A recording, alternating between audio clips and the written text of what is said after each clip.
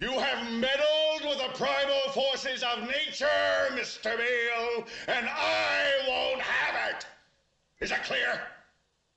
You think you merely stopped a business deal? That is not the case. The Arabs have taken billions of dollars out of this country, and now they must put it back.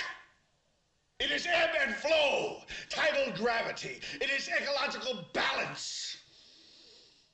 You are an old man who thinks in terms of nations and peoples. There are no nations. There are no peoples. There are no Russians. There are no Arabs. There are no third worlds. There is no West. There is only one holistic system of systems. One vast and immane, interwoven, interacting, multivariate, multinational dominion of dollars petrodollars, electrodollars, multi-dollars, Reichmarks, rins, rubles, pounds, and shekels.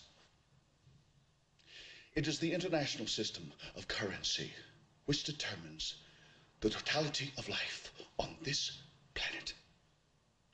That is the natural order of things today.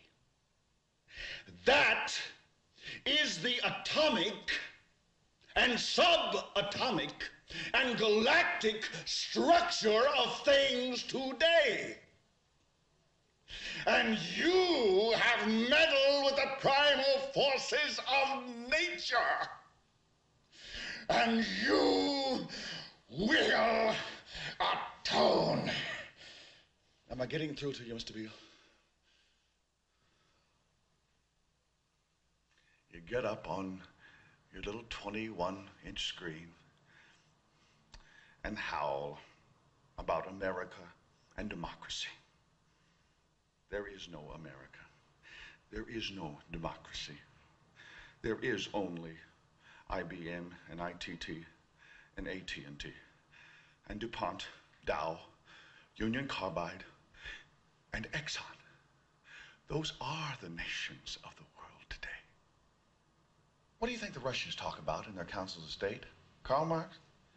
They get out their linear programming charts, statistical decision theories, Minimax solutions, and compute the price cost probabilities of their transactions and investments, just like we do.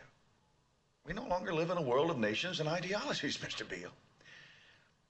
The world is a college of corporations, inexorably determined by the immutable bylaws of business.